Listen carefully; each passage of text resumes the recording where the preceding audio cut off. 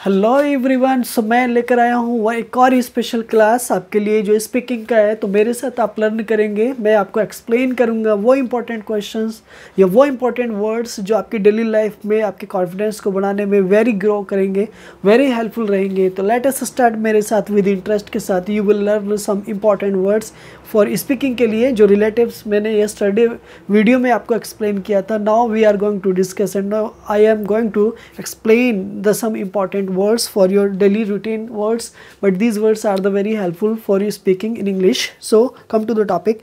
Yesterday मैं एक बार discuss करूँगा कि मैंने yesterday आपको किन वर्ड्स को एक्सप्लेन किया था। तो मेरे साथ आप ज़रूर आप जानेंगे और आज अपने लर्न कर लिया है कि उन वर्ड्स को। सो नेक्स्ट वर्ड है आपके। पहला वर्ड यस्टरडे था मेरा गुड मॉर्निंग तो गुड मॉर्निंग के साथ मेरे पास good night good noon good evening, good, ठीक है, नाइट एट्सेट्रा ये वाले वर्ड्स थे। उससे रिलेटेड कुछ रिलेशंस थे, ठीक है next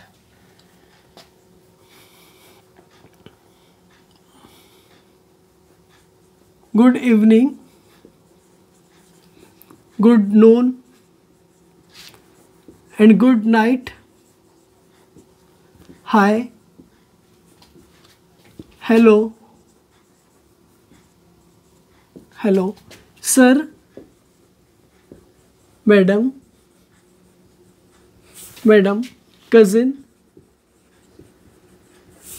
cousin grandfather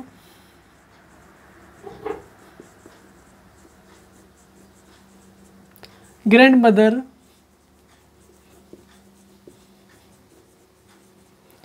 uncle aunt aunt Mr. Mister and mistress so study मैंने आपको बात किया था इन वर्ड्स के बारे में जैसे कि आप इनसे रिलेटेड और भी बहुत सारे सेंटेंस आपने स्टडी बनाए होंगे तो मैंने कल आपको एक चार्ट दिया था स्पेशल तौर पे, और उसमें से आपने डिफरेंट तरह के आई होप सेंटेंस आपने बनाए होंगे तो मैं एक बार फिर उन सेंटेंसेस पे जाऊँगा। तो वो सेंटेंस आपके लिए वेरी हेल्पफुल हैं ओके सो मेरे साथ आप you will speak good morning evening noon night night uncle anti anti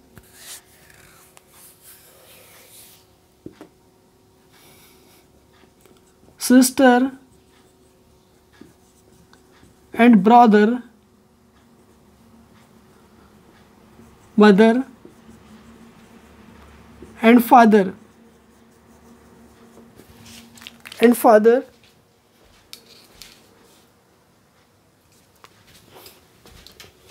So so, मेरे साथ आप इन वर्ड्स को बोलेंगे।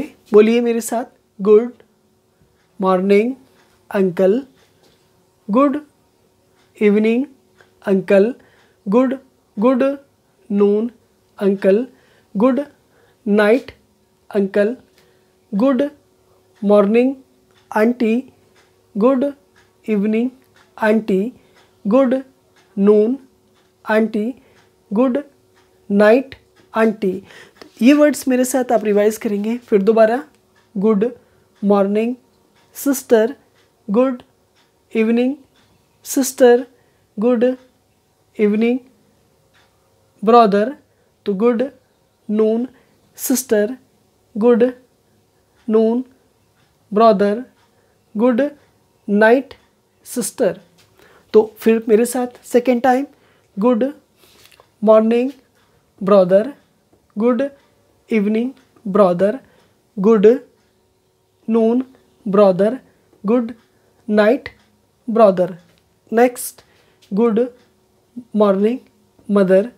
Good evening mother. Good noon mother. Good night mother. Next good morning father. Good evening father. Good noon father. And good night, father. Very good. ये words आपके लिए very helpful हैं। किस काम में? जब आप कभी भी किसी से फ़र्स्ट टाइम मिलते हो तो ये वर्ड्स आपको कहने होते हैं। लेकिन, बट आपके माइंड में ही चल रहा होगा, सर, गुड नाइट का यूज़ कहाँ पर किया जाएगा? सो, गुड नाइट का यूज़ तब किया जाएगा, जब आप बेड पर जा रहे हैं, बेड पर स्लीपिंग के लिए जा रहे हैं, उस टाइम पर आप कहेंगे, या वर्क से रिटर्न हो रहे हैं, या उनको उस टाइम पर लीव कर रहे हैं जब आपको ये चांसेस कम है कि आप उन्हें नेक्स्ट टाइम नहीं मिल पाएँगे या अब मिलना नहीं है, अब मॉर्निंग में मिलना है। So at the time you can see here यहाँ पर इतना आप उन्हें बोल सकते हो। देखो हाई हाई का मीनिंग बेसिक रूप से क्या होता है? हाई तो देखो हाई एक ऐसा वर्ड है जिसमें आप जिनसे आप एक तरह से ना अलग सेपरेट होने के लिए या एक तरह से एक वंडर सरप्राइज़ करने के लिए या स्वागत हेल्प मतलब वेलकम करने के लिए आप उनका यूज़ करते हैं, ठीक है? तो जैसे कि आप बोलते हैं हाय मॉम है ना? Next hi mom hi mom okay so hi dad hi dad okay so मैं यहाँ पर आपको एक्सप्लेन कर देता हूँ हाय हाय के बाद मॉम हाई के बाद डैड हाई के बाद सिस्टर हाई के बाद brother, uncle uncle etcetera so यहाँ पे आप इन वर्ड्स का यूज़ करेंगे। हेलो हाई के साथ आप हेलो का यूज़ करेंगे। हेलो का यूज़ करेंगे। तो देखो यहाँ पे, hi mom hi dad hi sister hi brother hi uncle, मेरे साथ बोलो। Hello ma'am hello dad hello sister hello brother hello uncle but now यहाँ पर बेसिक रूप से हेलो हेलो का मीनिंग क्या होता है? हेलो का मीनिंग क्या होता है? हेलो तो हेलो देखो हेलो का मीनिंग होता है आपका सुनना। सुनना। सुनने का मतलब ध्यान देना, किसी की बात पर ध्यान देना। तो बेसिक रूप से when you use mobile phone when you use mobile phone तो you ask and you your signal is the first is here hello hello आपका फ़र्स्ट सिग्नल कौन सा होता है? हेलो होता है। तो आप हेलो करते हो, ठीक है? अंकल को ब्रदर को सिस्टर को, जब भी आप कभी फ़ोन उठाते हो तो आप वहाँ पे पहले वर्ड हेलो बोलते हो। हाय आपका आ गया। इज़ राइट ना? तो ये सारे वर्ड्स आपको एक तरह से नोट करने हैं। अपनी नोटबुक में एक तरह से नोट करके रखना है okay so sir and madam देखो बेसिक रूप से सर किसके लिए आता है? हेलो सर तो मैं यहाँ पे नोट कर सकता हूँ। देखो hello sir hello madam hello madam hello cousin hello cousin hello grandfather hello grandfather grandfather hello grandmother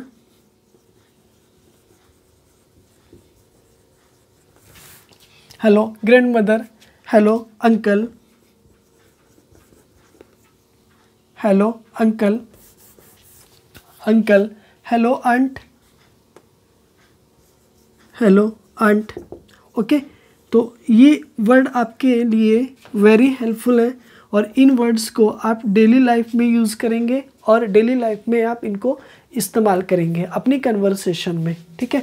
ये सारे वर्ड्स मैंने आपको लिख दिए हैं। इसके अलावा, जो भी आपके फैमिली में जो भी मेंबर्स हैं, जैसे कि आप और कनेक्ट कर सकते हो। जैसे सबसे पहले क्या हो गया? आपका सन हो गया। सन का मीनिंग आपका बेटा डॉटर ठीक है? डॉटर हस्बैंड हस्बैंड ठीक है? Wife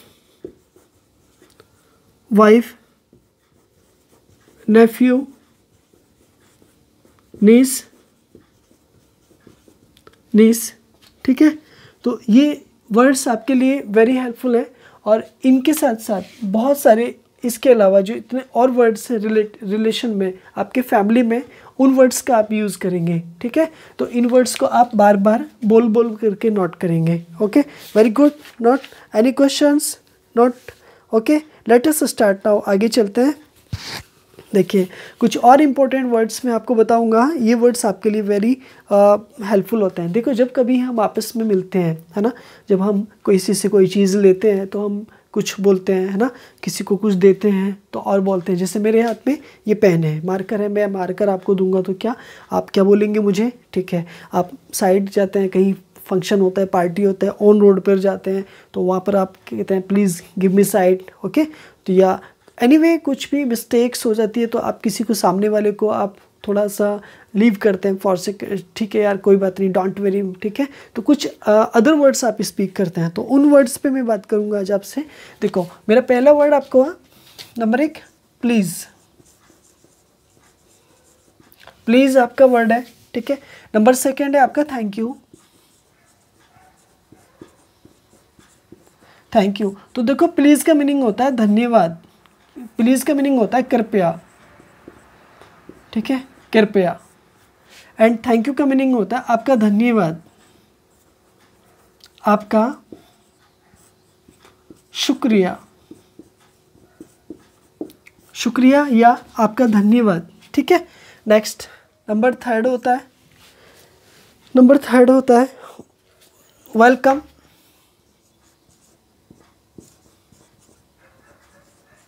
वेलकम वेलकम का मीनिंग होता है, स्वागत।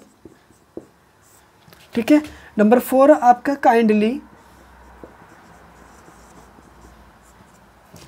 तो काइंडली मीन्स भी आपका कृपया। काइंडली मीन्स भी आपका कृपया। नंबर फाइव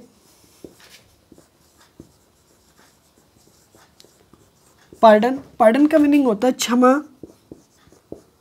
करना। यानी माफ़ करना किसी को, ठीक है? Next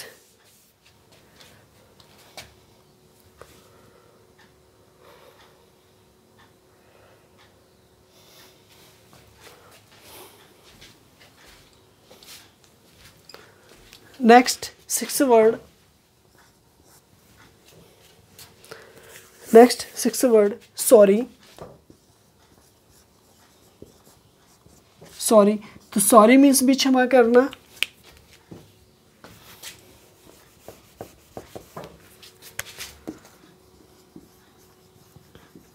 Sorry sorry means pardon excuse me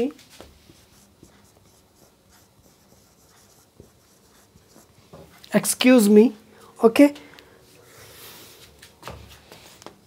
excuse me excuse me भी एक तरह से क्षमा करना। या माफ़ी मांगना या अलग हटना।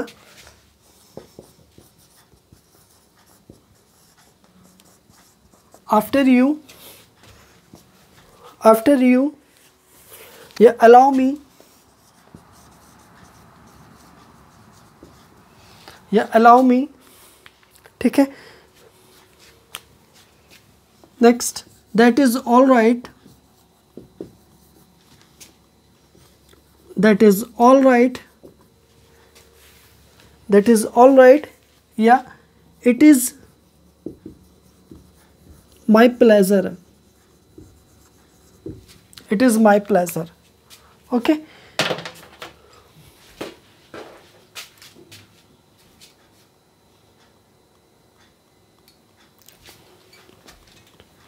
so let us start देखिए मेरे साथ प्लीज़ प्लीज़ का मीनिंग कृपया, जैसे please give me side please give me pen please give me a glass of water एक एट्सेट्रा ना? सो प्लीज़ एक ऐसा वर्ड है जिसका आप यूज़ कृपया के सेंस में करते हैं। कोई भी चीज़ आप किसी से लेंगे डिमांड करेंगे साइड लेंगे, कहीं जाएँगे, किसी की कोई चीज़ लेंगे तो आप वहाँ पर आप प्लीज़ का इस्तेमाल करेंगे प्लीज़ का यूज़ करेंगे, ठीक है?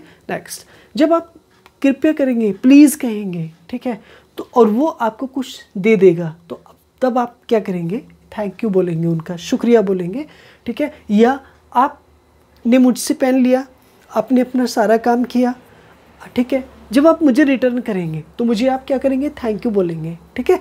तो मैं क्या बोलूँगा आपको? वेलकम बोलूँगा। वेलकम का मीनिंग स्वागत करना ठीक है? भाई ठीक है। सो so, अब यहाँ पर दोबारा समझ लो। ठीक है? देखो, यहाँ पर ये लड़का, ये ये लड़के से क्या लेता है? कोई चीज़ लेता है। ये एक बुक पेन लेता है। ये एक पेन लेता है। ठीक है? पेन लेता है। ठीक? अब ये पेन लिया तो इसने क्या किया? इसने, लड़के ने इससे क्या किया? ठीक है, इससे क्या किया? प्लीज़ किया। भाई please give me a pen please give me a pen तो इसने प्लीज़ गिव मी इसने कहा, भाई, ठीक है, ले ले, मेरे पास है तो मैं दे दूँगा तुझे ओके ठीक है? एक्स्ट्रा है तो दे दिया।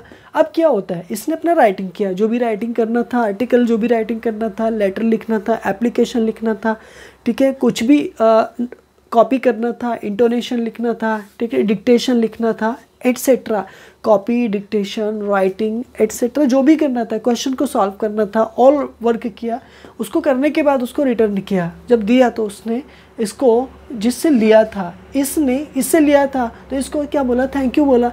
तो इसने इसको क्या बोल दिया? वेलकम बोल दिया। सो वेलकम का मीनिंग स्वागत करना किसी चीज़ का ओके नेक्स्ट काइंडली का मीनिंग एक तरह से क्या, कृपया। कृपया प्लीज़ के सेंस में होता है। प्लीज़ के सेंस में बट यहाँ पर एक तरह से मॉरलिटी की तरफ़ इशारा करता है है ना? काइंडली बट पार्डन पार्डन का मीनिंग होता है क्षमा करना मिस्टेक हो जाती है, गलती हो जाती है तो हम बच्चों को क्या करते हैं? पार्डन करते हैं, यानी हमें पार्डन करना चाहिए। अगर सामने वाले से कोई मिस्टेक हो जाती है तो हमें सबसे बड़ा होता है कि हमें उसे क्षमा कर देना चाहिए पार्डन माफ़ कर देना चाहिए, चाहे वो कितनी ही बड़ी गलती क्यों ना हो जाए। इज़ राइट ना? अक्सर हमें माफ़ करने की कोशिश कोशिश नहीं, बल्कि कर देना चाहिए। क्यों? क्योंकि पार्डन करना, क्षमा करना। सॉरी सॉरी बाबा। ठीक है? कहते हैं ना सॉरी तो सॉरी करना सॉरी है ना? तो सॉरी मतलब क्षमा करना, माफ़ी मांग लेना पार्डन क्षमा करना। ठीक है? एक्सक्यूज़ मी क्षमा करना एक तरह से साइड होना, अलग को ओके आफ्टर यू का मतलब आपके बाद, पहले आप ले लीजिए, फिर आपके बाद में ले लूँगा आफ्टर यू ठीक है? अलाउ मी अलाउ मी का मुझे परमिशन दे, मुझे आज्ञा दे, मुझे जाना है। यानी इसका मीनिंग क्या होगा? आज्ञा दे, मुझे परमिशन दे जाना है। और आफ्टर यू का मीनिंग क्या होगा? पहले आप ले लीजिए, आपके बाद में चला जाऊँगा। इस इट मीन्स क्या हुआ कि जिससे आप पढ़ने का चांस आया आपका किसी एंट्री करने का चांस आया you are entering in the hall तो आप you are waiting outside from the hall but you are telling the someone who is standing the front of you please after you मैं आपके बाद आ जाऊँगा, आप पहले चलिएगा. इज़ राइट ना? अलाउ मी अलाउ मी का आप, अब आप किसी से कह रहे हैं, जी please give me allow me मुझे आप एंट्री करने के लिए आप परमिशन दें एंट्री करना है. ठीक है? That is all right this that is all right का मीनिंग बिल्कुल राइट है. इसमें कोई प्रॉब्लम नहीं है। ये बिल्कुल ठीक है। That is all right okay next it is my pleasure ये मेरा काम है, ये मेरा शौक है, यानी मेरा हैबिट है। जैसे कि आप कभी कि बोलते हो थैंक्स बोलते हो, ठीक है? तो यहाँ पर इट इज़ माई प्लेजर ये मेरा वर्क है, मेरा एक्शन है।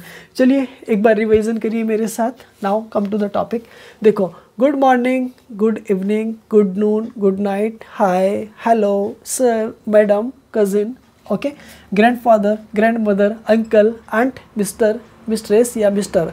ओके? इन ये सारे वर्ड्स हैं जो आपके डेली लाइफ में यूज़ होने वाले हैं और आपके लिए वेरी हेल्पफुल हैं। ठीक है? मैं मीनिंग बता देता हूँ, देखो गुड मॉर्निंग का मतलब वो सलाम होता है जो सुबह के टाइम में होता है मॉर्निंग में होता है। ठीक है? इवनिंग गुड इवनिंग शाम को होता है। इज़ राइट गुड नून दोपहर में बारह बजे होता है। Okay? Twelve good night good night bed पर जाते टाइम होता है।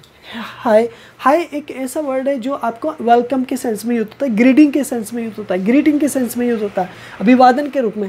हेलो हेलो का मतलब एक तरह से एक हियरिंग वर्ड है। Hello hello is here hearing word okay ये एक एक तरह से हियरिंग वर्ड है, जो एक तरह से संबोधन के लिए बोला जाता है। सर एक रेस्पेक्टेड वर्ड है, जो मेल के लिए यूज़ किया जाएगा। और मैडम एक रेस्पेक्टेड वर्ड है, जो फीमेल के लिए यूज़ किया जाएगा। बट कज़िन जो होता है, वो अपने कोई ब्रदर या सिस्टर दोनों के लिए आता है। बट ये आपका ममेरा भाई भी हो सकता है, ममेरा भी हो सकता है, फुफेरा भी हो सकता है, चचेरा भी हो सकता है, खलेरा भी हो सकता है, मौसेरा जिसे आप बोलते हैं, ठीक है? नंबर एक, मोमेरा। नंबर दो, मौसेरा। नंबर तीन, चचेरा। नंबर फोर फुफेरा। अभी बहन भी हो सकती है जेंडर चेंज हो गया ठीक है? तो वो मेरी बहन चचेरी बहन खलेरी बहन ठीक है? और फुफेरी बहन। तो आपको यहाँ पे सिस्टर इंग्लिश में यूज़ नहीं करना है। कज़िन ही लगेगा। बस इन आठों के लिए। कितने हो गए? आठ हो गए। देखो यहाँ पे नंबर ठीक है? ये यहाँ पर इत, ये फीमेल हो गया और ये आपका मेल हो गया। अब ये वो मेरा भाई फुफेरा भाई खलेरा भाई ठीक है? एंड चचेरा भाई। चचेरी बहन, ठीक है? तो खलेरी बहन, फुफेरी बहन एंड ममेरी बहन। One two three four one two three four okay one two three four इन फोर के लिए आपको कज़िन का ही यूज़ करना है। Okay okay? आपको कज़िन ब्रदर कज़िन सिस्टर नहीं लगाना है। ठीक है? ये बात याद रखेंगे, यानी कज़िन ब्रदर कज़िन सिस्टर का यूज़ नहीं करना है। ओनली आपको कज़िन का यूज़ करना। ठीक है? He is my cousin he is my cousin she is my cousin he was my cousin she was my cousin इस तरह से यूज़ करना है ना कि he was my brother he was my cousin brother he was cousin brother नहीं use करना है. Okay next so good morning uncle good evening good noon good night uncle aunty आप लगाएँगे सेंटेंस बनाएँगे ओके प्लीज़ कृपया thank, मेरे साथ बोलो, प्लीज़, कृपया। थैंक यू आपका शुक्रिया। वेलकम काइंडली पार्डन क्षमा करना। Sorry excuse me after you allow me it is all right या इट इज़ माई प्लेज़र ठीक है?